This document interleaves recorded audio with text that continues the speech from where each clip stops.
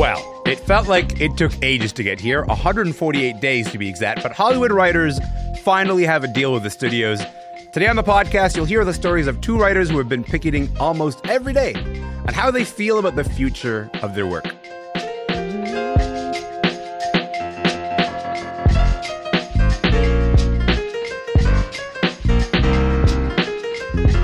I'm Elamin Abdelmahmoud. This is Commotion. Listen, after almost five months on strike, Hollywood writers are finally getting a break from picketing. That is because there is a tentative deal on the table. Their union leaders are going to vote on it.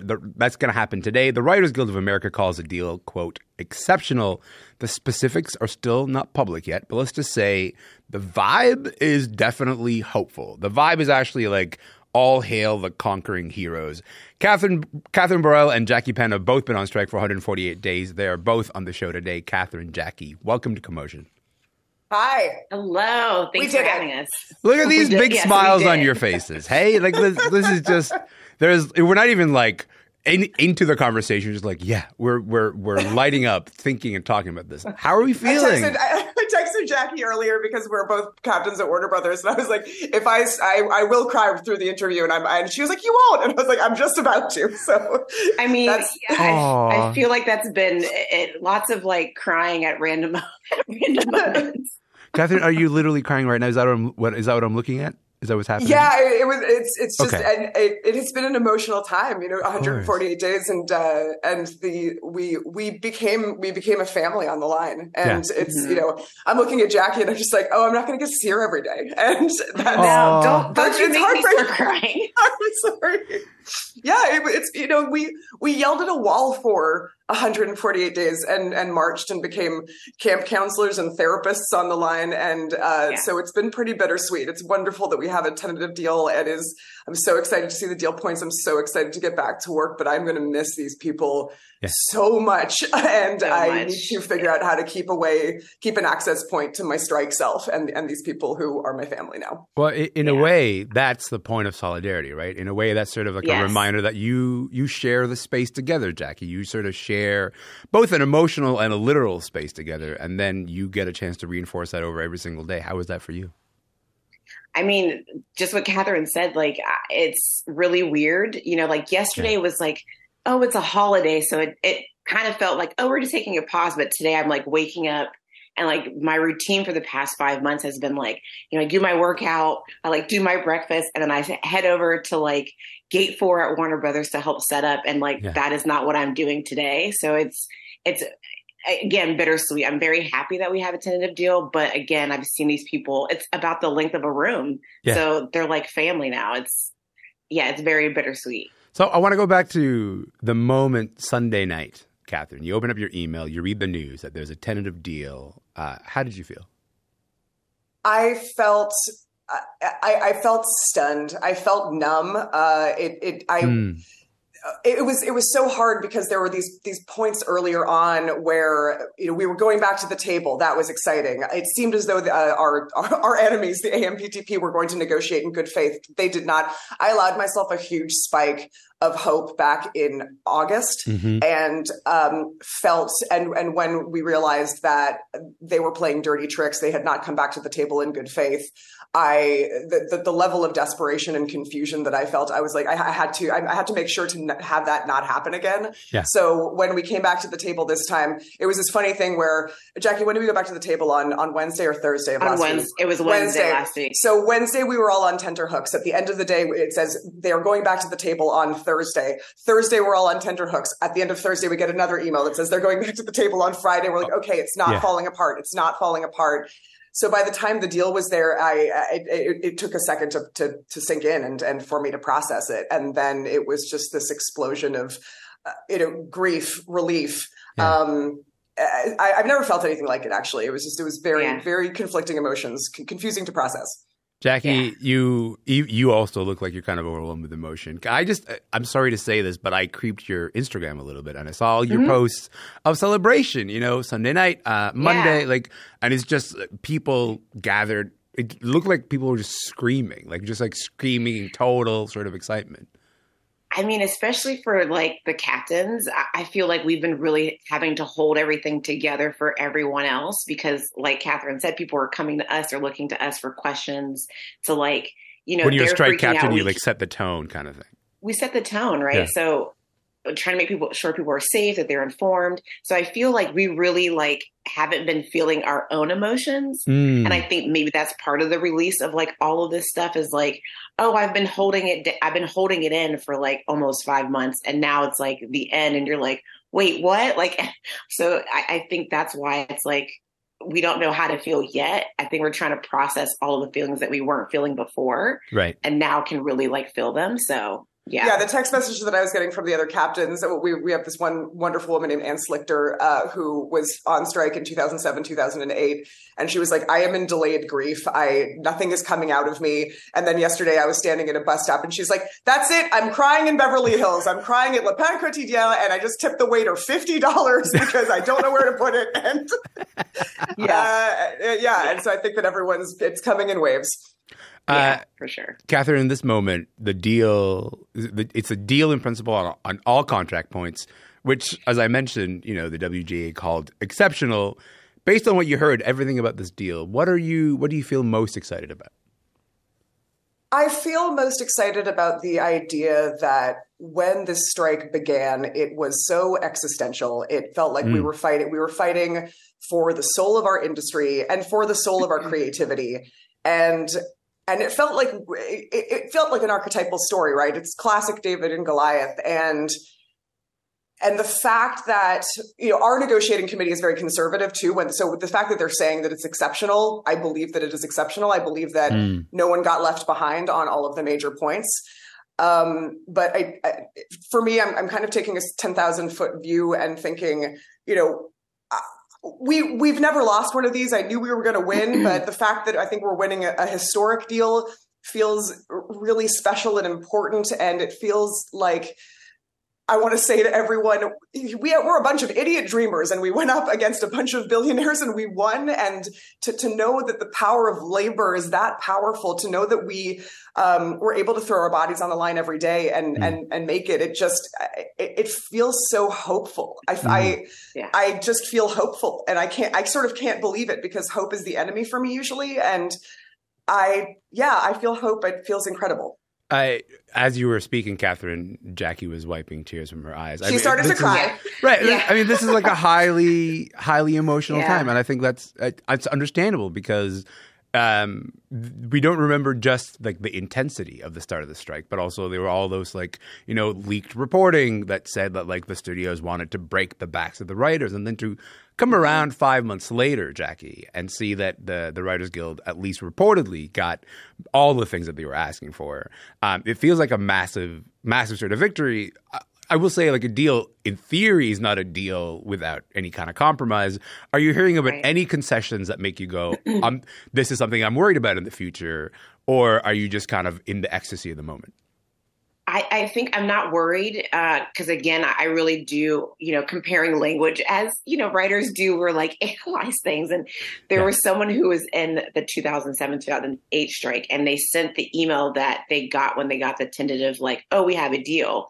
And they compared it to the email that they sent to us on Sunday. And the language from 2007 8 and now is completely different. So mm. I really do feel like in 2007 2008, they won but there was like still some mm, could have been like the best language maybe there could have been some like uh, you know better language used and more protection but i really do feel like kathryn said they they have been so like conservative with how they're like trying not to they were managing our expectations like yeah. they're coming back to the table this doesn't mean that we're going to have a deal so like i think for them to say that i really do feel like they knew right they're experiencing it just like the rest of the membership mm-hmm. that this was like a breaking point for not only us but like the other people you know in our industry. So um i have like faith that yeah that this is this deal is going to be you know good. I mean not to say that we're not going to have to like figure out life going forward post of course but i really do do believe that um the things that we were fighting for um i believe that we made we made gains in that those areas. So uh, Kathryn, last time you were on the show, which was in July, we were talking about people losing their apartments, people who can't afford groceries. Um, and you were saying that uh, that the writers would keep going no matter what the immediate impact was. There was sort of this understanding of exactly what you said earlier, which is like this is an existential turning point in in um, in your careers and in this particular line of work. Do you think the resolve shifted along the way as a strike dragged on? 148 days is a long time to be on strike. I think we got tired, but I don't think the resolve shifted because mm. I think that we all knew this. The thing I keep saying is that it feel to, to me it feels like this strike there was such a high degree of literacy in terms of the issues. We also had we were all communicating with. I hate social media; it drives me crazy. This was this was a moment where Twitter and Instagram was so crucial in terms of mm-hmm. any any time there was a sneaky move from the press yeah. or from the AMPTP or stories that were being seeded through the trades by the AMPTP, right away Twitter, Instagram, the incredibly smart people, the incredibly smart writers and analysts there were like this this is this is what they're doing. Mm-hmm. They they are trying to break your resolve via this. They're trying to break your resolve via PR, via messaging, via whatever. And and I and think so, that's why they that's why they lost, right? I mean, because yeah. we were able to con- to continue to control the messaging, and this is not 2007, right? Like this is 2023, and like yeah. times are different. Yeah. yeah. Exactly, they got knocked down every time, and so and so I, I so because those those rumors uh, and, and, those uh, yeah because those rumors were not allowed to take hold because and and we were and every t- and every single time one of us felt bad in private because we had to be private about it as captains because we were wearing orange safety vests, which yeah. meant that we were we were the ones who had to take care of everyone. We would assemble around them and and figure out how to make our people feel better. That was part of our job. Mm-hmm. And so yeah, we had a captain on the line who did lose her home. You know, she's she's in the process of driving to Flagstaff, Arizona right now to live with family. But I know that she'll be back. And and and and if you talk to her and she's she's been public about this, her name is Sarah. If you talk to Sarah about it, she doesn't she doesn't not believe in the strike. She's not angry about it. She's just like this was we were fighting for the soul of the thing. Mm. And and we won it. And she's like I feel free. It's very confusing. I don't know what's going to happen next, but this fight was not an option. We had to do it. I, uh, Jackie, I got to ask you: when you think about the financial sacrifices, the ones like the one that we just heard about, when somebody like loses their home, right? Um, you have to think that there was maybe you know a moment when you like losing the health insurance. Like those are those are really big sacrifices. Was there ever any, ever any moment for you where you're like, I don't think I can keep this going for the long haul? Did that doubt start to set in? Even I mean, even if it's private, you know. Yeah, I mean, yeah, sure. There's definitely those moments. You know, I luckily uh, am married, and so I have a spouse who is working. Not, I mean, LA is expensive, yeah, so like trying to survive on one income uh, is tricky. Um, and so I had his support, but it's definitely like, okay, what are we, what are we cutting back on? What do we have to get rid of to like try to like really think about um, how to survive? There's, there's talk of like maybe getting into his pension, like taking right. money out of that just to like, you know, um, to survive it, like savings, like what savings now? I, I don't know, like, cause that's almost all gone, but, mm-hmm. uh, yeah. And, uh, I was one of these people actually who was scheduled to lose coverage for their health insurance, um, on October 1st uh, because we had gone on so long that like my health insurance was going to be done.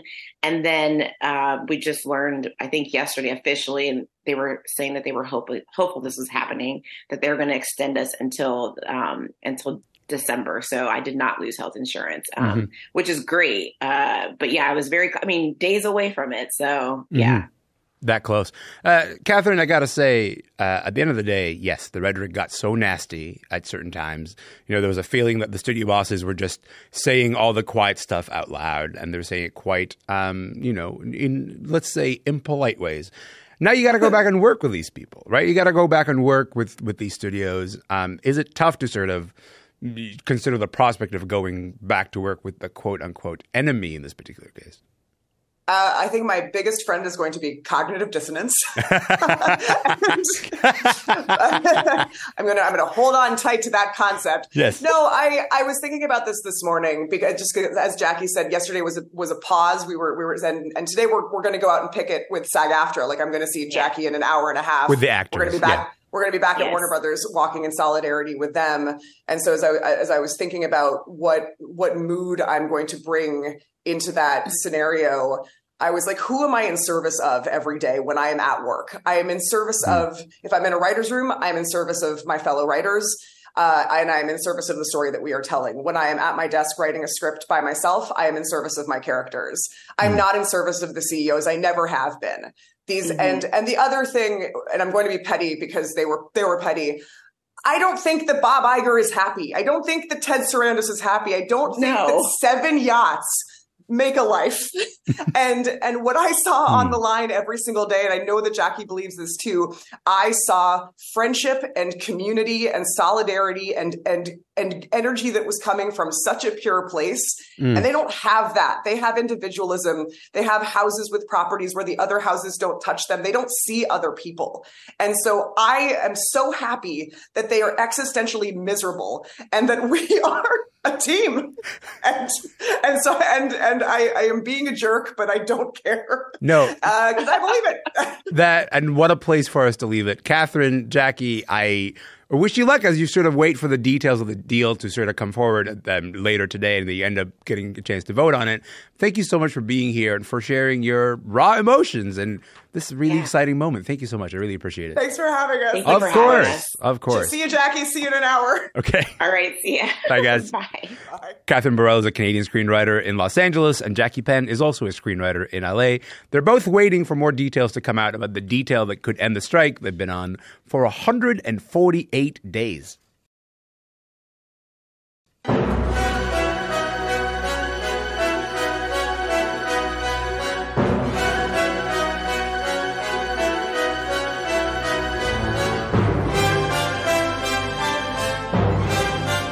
Hi there, my name is Elamin Abdelmahmoud, and this is Commotion. Stravinsky's The Firebird Suite, that is the Kitchener Waterloo Symphony, one of the most celebrated orchestras in Canada. Last week, news broke that the KW Symphony would stop its operations and file for bankruptcy. That news came out just as the 2023 2024 season was expected to kick off. It sent shockwaves across Canada's live orchestra industry. Katherine Carleton is the executive director of Orchestras Canada, a not for profit organization that is dedicated to helping build a vital and sustainable future for Canadian orchestras. They represent 144 orchestras across the country. Katherine is with me now. Hi, Katherine. How are you? I'm uh, still processing the news. It is a, a, a, you know, a shock yeah. to the foundation of, of what we do and what we believe in. I can I can imagine. What was your reaction when you first heard it? I cried. Hmm. Tell me about that. Um, I I worked for the Kitchener Waterloo Symphony for five years at two different points in my career. Mm-hmm. I know mm-hmm. the community. Uh, I have friends on the board, friends in the orchestra, friends on the staff team. I know what they have brought to that community over the 78 years of, of their history, mm. although I didn't work there that long. And, you know, I, you know, just thinking about the, the dislocation mm-hmm. that those folks are feeling at this point, uh, the sense of, you know, questions about the future, where, where, where this might potentially go, uh, reach of promise to audience members, to members of the youth orchestras, you know, you name it. It's uh, it's a community tragedy. I uh, I guess I'm, I'm, let's try to paint a bit more of a like a, a, a picture for people um, in terms of what the consequence, the most immediate consequences of this might be, because we're hearing stories of musicians who were either expecting their first paycheck like literally this week, they're not getting that anymore. Uh, people who just moved to the city to begin working there too, right? Like, tell us a little bit about the implications of that for for people. Sure. The implications are, first of all, massive questions about whether they can stay in the community and hope that something will build up or not, whether that is financially possible for them or not. Hmm. Um, Kitchener Waterloo Symphony did treat its musicians as employees, so many of them were collecting employment insurance over the summer. That may bridge them for a few weeks, but EI is not indefinite. Mm. Uh, staff members, uh, similarly, may be in a position to be able to collect employment insurance, but there, for those who are starting their jobs with the orchestra, and there were a number of new mus- musicians starting work, they didn't have the insurable weeks. And they must be asking serious questions at this point. They moved to town, paid rent, did all the things, all ready to start, and uh, they don't have a backstop. Uh, some of the reporting that I've seen points to actually the pandemic being like a significant factor in the K- Kitchener Waterloo sort of situation. Can you just give us a sense of why the pandemic might have affected uh, an orchestra in that way? Sure. I mean, we've been measuring the impact of the pandemic on orchestras right across the country. And hmm. although mm. it has played out differently as we emerge from the pandemic. Uh, the immediate impacts were obviously two and a half years of massive disruption. Um, immediately, in that famous day in mid March of 2020, uh, orchestras learned uh, pretty much at the same time that the work that is at the very heart of what they do, mm. bringing groups of people together to work in close proximity in an enclosed space for larger groups of people sitting in close proximity in a close in yeah. an enclosed space, right? You know, it, it, basically what you're told is the work that you've spent your entire life doing, getting ready for, honing, uh, and and getting ever better at is yeah. is suddenly impossible. And for two and a half years, people did their level best to patch over to perform live when they could when that was actually possible. Big digital pivot, um, which produced a lot of activity, some of it touching, beautiful, funny, and great, uh, and no revenue model attached to it. Uh, and no real ability to, to say to an audience, we're planning an event on this date. We invite you to join us in Oof. the hall to participate. When you didn't know if there'd be a fresh form of, of, of COVID, if there'd be government shutdowns, any of those things. So, massive disruption. Uh, we are coming out of it now, but we are certainly noticing very different kinds of paces of return right. uh, to full on performance in different cities across the country.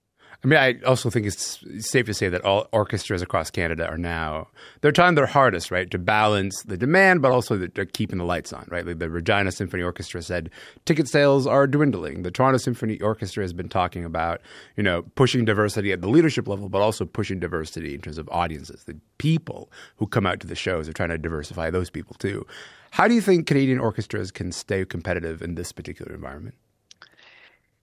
I think you know there, there's a there's a couple of things that really show up under the banner of relevance. Mm. Um, one is uh, uh, you know the practical fact of management, which is that you have to have enough cash on hand to be able to to do experiments and not expect bat a thousand. Right right? You know, we, we know this from tech. We know this from, you know, pretty much any kind of, uh, of, of, business operation. Nothing can bat a thousand, but especially nothing this, can right? bat a thousand. Yeah. And you, you actually need a bit of a margin yeah. to be able to try stuff, see who comes, uh, you know, make it better, uh, abandon it if possible. But then also baked into that, that uh, kind of capacity for innovation you know there's it, it, it, talks about programming it talks about how how we define uh, audiences existing and new where we go find them where we perform for them what mm-hmm. repertoire we play i mean we already know based on some research that we did with the fabulous people at bipoc voices uh, this last spring that canadian orchestra's repertoire has diversified significantly mm-hmm. big uptick in the performance of music by women, music by uh, equity seeking, equity deserving composers of, of a range of kinds. I mean, it's it's happening. Can it happen fast enough? Can we bring the existing audiences along with us, um, or are we going for an entirely different audience? And you know, how do we find them? How do we introduce them to to the wonderful world of orchestra? Right. A lot of experiments going on right now, but you need the cash to be able to do the experiments and learn from them. Katherine, uh, we got about a minute left. You know, right now I'm talking to you about the state of orchestras in Canada, but before I was talking to Kathryn Borel and Jackie Penn about the writer's strike in Hollywood. Before I let you go, do you see a through line between what's happening over there and what orchestras are dealing with here in Canada? I loved that interview. What what fabulous, strong women. Yeah. I, just mind-boggling uh, to to think about their leadership what I see as a through line is ongoing challenges and conversations about what it is and what it takes to be an artist who can lead, lead a life of dignity and mm. contribution in communities. Unlike you know media industry, there aren't major headquarters of orchestra in Canada. We've got 144 members. They are distributed coast to coast, communities small and large. What it takes to uh, keep a group of musicians working, right. happy, productive in Kitchener, yeah. what it takes in Toronto, what it takes in Vancouver. Um, you know, that's what we're fighting for. And that's a management board, musician, community uh, uh, piece of work that we need to do together. Katherine, I really appreciate you giving us that context and for being on the show today. Thank you so much for your time. What a pleasure. Thank you so much, Elamin. Of course. Good day. Katherine Carleton is the executive director of Orchestra Canada, a not for profit organization that helps promote orchestras across the country. By the way, we should mention that uh, the Kitchener Waterloo Youth Orchestra has found a home at Wilfrid Laurier University. That is it for our show today. My name is Elamin Abdelmahmoud. I'm going to be here tomorrow. I hope that you are too. I'll see you then.